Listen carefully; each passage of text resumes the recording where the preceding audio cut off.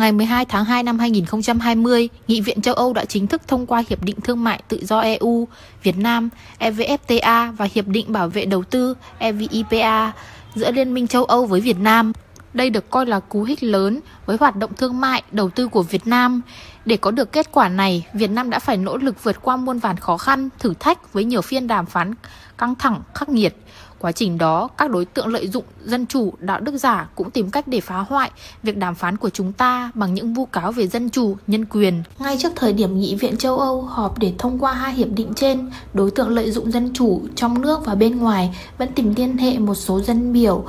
EU có quan điểm cực đoan về Việt Nam để can thiệp vào việc phê chuẩn. Tuy nhiên, mọi âm mưu và hành động chống phá này đã không thể ngăn trở việc EU thông qua hai hiệp định về thương mại và đầu tư nói trên. Lợi ích giữa Việt Nam và EU vẫn là vấn đề cốt lõi trong quan hệ giữa hai bên. Lâu nay, các đối tượng dân chủ trong nước thường xuyên có những hành động vu cáo Việt Nam vi phạm dân chủ, nhân quyền với nội dung bịa đặt, xuyên tạc nhằm gây cản trở đến quan hệ đối ngoại của Việt Nam với các nước phương Tây luôn hô hào đòi dân chủ, muốn đất nước được phát triển, nhưng chúng lại tìm mọi cách để bôi xấu hình ảnh, hạ uy tín của đất nước trong cộng đồng quốc tế. Chúng muốn thông qua việc tác động vào một số dân biểu cực đoan để đưa ra yêu sách, sự mặc cả về dân chủ, nhân quyền nếu Việt Nam muốn có lợi ích về kinh tế.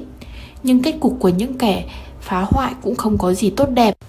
Khi ký hiệp định EVFTA được Nghị viện EU thông qua, đám dân chủ trong nước nhưng ngậm hột thị chẳng còn dám bàn luận đến vấn đề này nữa.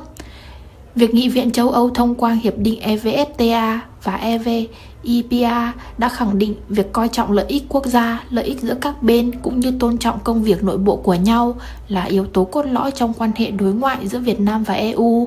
Sự kiện này là nhân chứng rõ nét cho vẫn nước đang lên, cho uy tín và vị thế của Việt Nam. Đồng thời, nó là gáo nước lạnh dội vào mặt những kẻ lâu nay vẫn tìm mọi cách để phá hoại hiệp định EVFTA.